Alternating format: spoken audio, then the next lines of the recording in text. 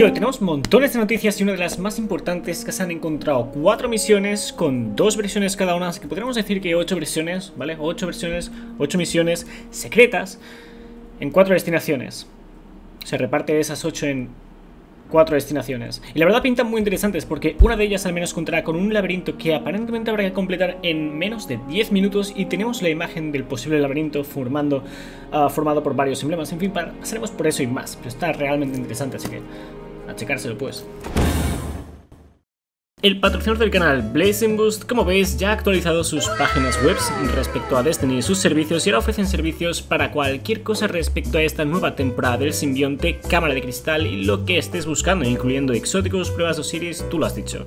Esto está enfocado a aquellos que no tienen tiempo para conseguir estas cosas, pero que quieren usarlas en sus actividades favoritas, así que si es algo que os interesa, este con más de 14.000 reviews positivas, bueno de hecho casi casi, es el que más os recomiendo y de hecho os dejaré links abajo en la descripción con algún que otro descuento. Probablemente muchos sabéis que el armero ahora trae eh, nuevas armas que rodan semanalmente, pero probablemente pocos sabéis que lo que hacen es que también cambian sus ventajas diariamente. Diariamente a la hora del reset, creo que es a la hora del reset, porque en algunos casos hay algunas cosas que parece cambiar un poco después, pero sí, eh, cambian diariamente las ventajas de las armas que veis aquí, así que estaría genial que paséis cada semana, al menos una vez al día, si es que hay alguna de estas que os interese farmear, por ejemplo, Ikelos es uno de los mejores subfusiles. Y personalmente una de las ventajas que más me gusta tener con este arma es la de demoledor, porque así regenero mis granadas súper rápido haciendo bajas a enemigos rasos con este subfusil. Así que la verdad es un arma que 100% os recomiendo farmear de este modo, checando las ventajas diariamente. Y bueno, al igual que esta, pues cualquier otra, ahora que lo sabéis. Shout out a este suscriptor que me he encontrado aquí, ¿vale? Que vaya bien, Dani. Ahora, esta es una lista de todos los modificadores de cámara de cristal. Os dejaré un link a esta página abajo en la descripción para que podáis pasar a cualquier uno, aunque ahora, bueno, de hecho un poco más tarde, pasaremos por todos y cada uno de estos modificadores de cámara de cristal. Pasando a otro tema, Kevin James, ah, del que hablamos recientemente en el tema de Stasis, porque fue alguien que nos comentó que iban a hacer grandes cosas y que aún no han hecho, pues nos dice que aún no puede decir mucho, pero que están activamente trabajando en encontrar ajustes para Stasis. Saben que es un tema caliente, ¿vale? Es decir, es un tema que definitivamente tiene que ser tratado y básicamente su focus durante el próximo balance, durante las próximas actualizaciones de balance, está más concentrado en el gameplay PvP respecto a armas. O sea que parece que van a balancear más las armas para el PvP en próximas actualizaciones en lugar de una de las cosas más importantes. A ver qué hacen con las armas. O sea, una de las cosas que creo que deberían hacer más es bufear por ejemplo, vale, eh, definitivamente eh, Stasis aún tiene que nerfearse un poco más, pero también podrían bufear las otras subclases de la luz, también podrían bufear armas, porque la verdad hace tiempo que no bufean tanto, o sea, si comparamos la cantidad de nerfs a buffs, pues bueno, ahí está ese breve comentario. Uh, esto es una captura que me ha pasado un suscriptor por Discord, básicamente me muestra que eh, Heredero Natural aparente aparece con el logo de los titanes, como si hubieran ganado, o sea, cambiaron la estatua, ahora está correcta, muestra que los ganadores fueron los cazadores, pero aquí aparece el logo de titán, no sé si os aparece a vosotros todavía ¿vale? Porque yo uso el diseño y no me he fijado porque hace un tiempecito que no la uso. Pero decidme si a vosotros os sigue apareciendo. O sea, esto es reciente, así que debería ser así, simple. Aún tienen que arreglar algunas cosas. Vaya evento, vaya juegos de Guardianes 2021. En fin. Rápidamente pasamos por esta lista de todas las fuentes pináculos, la dejaré abajo en la descripción, pero resumiendo, ¿vale? Las más importantes, las más altas, ¿vale? Que las plus 2 es, ¿vale? Son de los 100.000 puntos del asalto de ocaso, la caza maestra, eh, de Europa, ¿vale?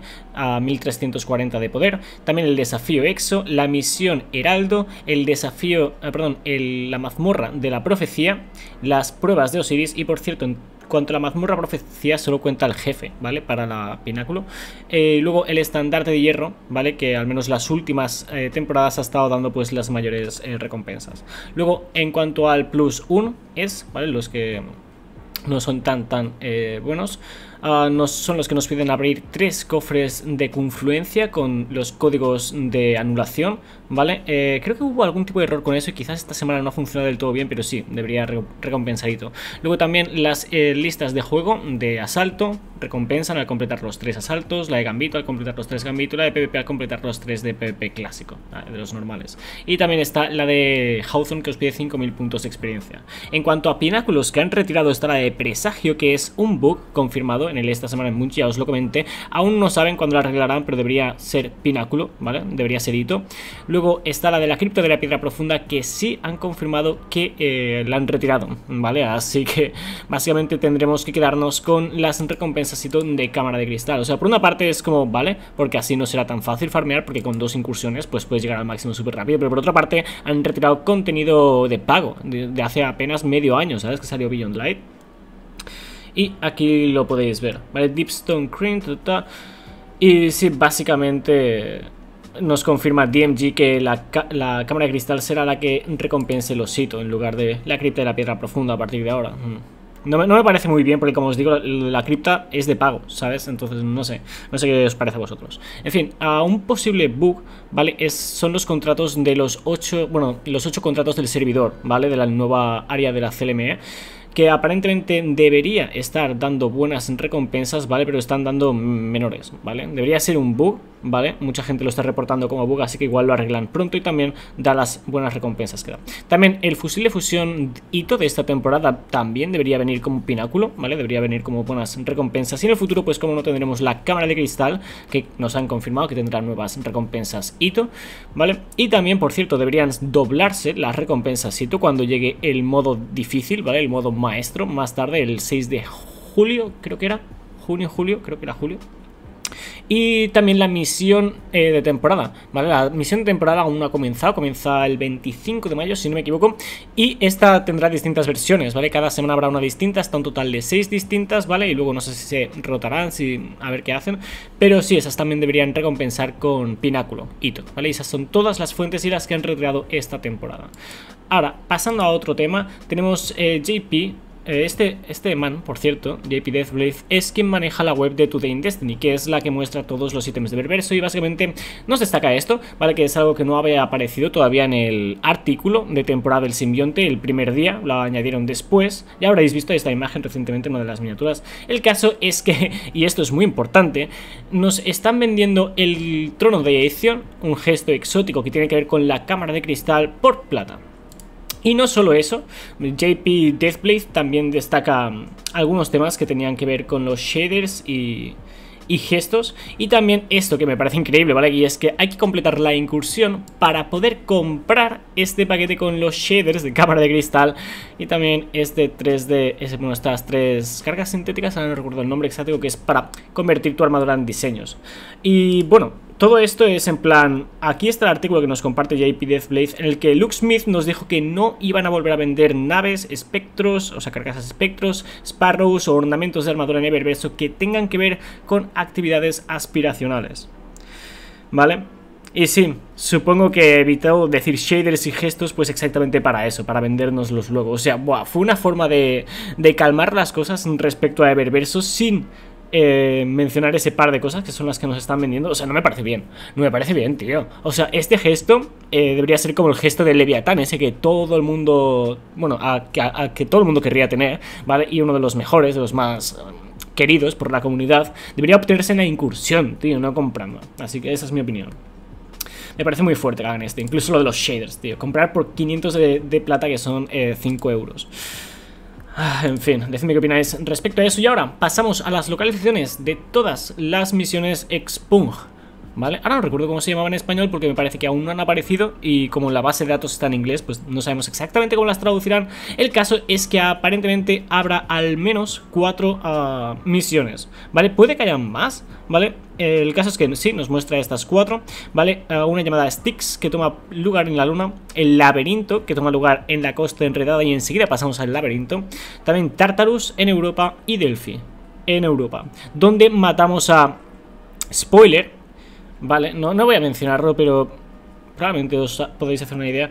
Y este probablemente sea el final, nos menciona. Esto, por cierto, ha sido extraído de los textos que nos filtró Jinsor, ¿vale? Que son todos los textos de diálogos, textos y demás de la, la, temporada, ¿vale? Y con esto se ha filtrado un montón de información, incluyendo eso. Y aquí, por cierto, nos destaca que cada uno de estos parecen estar basados en mitos de la mitología griega, ¿vale? Y que parece que hay dos versiones de cada uno. Una corrupta y otra no, ¿vale? Una en la que luchamos contra poseídos, la corrupta, y la otra normal probablemente sean Vex, ¿vale? Así que imaginaos como cuatro misiones, dos en llamadas Sticks en la luna, poseídos Vex, dos laberinto en la costa enredada, dos tártaros en Europa y dos Delphi en Europa.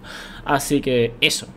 Y luego, tenemos aquí el laberinto, ¿vale? Shout out Como tendréis link a todo abajo en la descripción, como no. Como veis, reuniendo los emblemas de Gambito, Asaltos y, bueno, Vanguardia y Crisol, se puede encontrar este, este laberinto. Vale, quizás haya mejor forma de encajarlo. El caso es que podéis utilizar esta idea ¿vale? Esta imagen de aquí, cuando ya esté disponible esa misión, ¿vale? Porque se han encontrado los oráculos con los que se puede interactuar, tal, pero hasta ahí queda la cosa, ¿vale? Aparentemente hay un... Está time gate, habrá que esperar para poder hacer algo más, ¿vale? Y es posible que aparezca un laberinto, porque en uno de los triunfos nos pide, de hecho, completar el laberinto en menos de 10 minutos. ¿vale? Así que pongámosle que esta imagen está correcta, ¿vale? Imaginemos que aparecemos en cualquiera de estos puntos y tenemos que salir por aquí, pues podríais utilizar este mapa para seguir este camino, ¿vale? Y saber por dónde, por dónde salir. Como os digo, esto quizás haya que rotarlo de otras formas para crear otra serie de mapas, ¿vale? Pero es lo que sabemos por ahora y como habíais visto antes, ¿vale? Hay uno que tiene que ver con el laberinto en la costa enredada, hay un triunfo que podéis ver dentro del juego.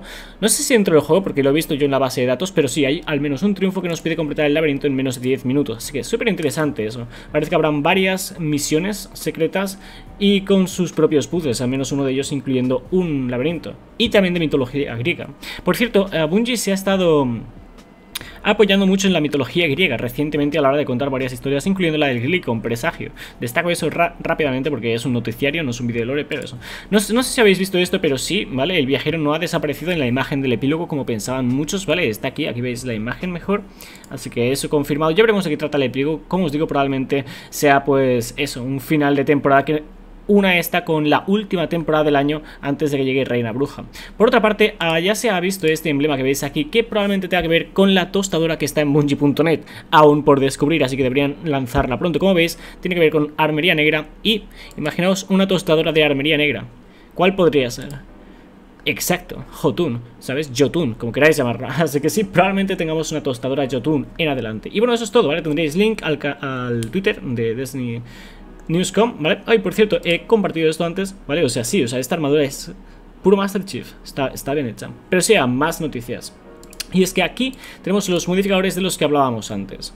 ¿Vale? Como veis, las ventajas están en inglés, ¿vale? Pese a que están en español, así que vamos a traducirlos rápidamente para que os enteréis de qué van. Este llamado disruptor agresivo de oráculos hace que puedas equipar a fusiles automáticos, fusiles de fusión, eh, lanzagranadas, fusiles de rastreo y lanzacohetes para causar daño adicional a oráculos. Este daño adicional a oráculos lo causaban todas las armas de cámara de cristal, aunque quizás esta vez tenga tengamos que aplicar estos modificadores, como veis aquí.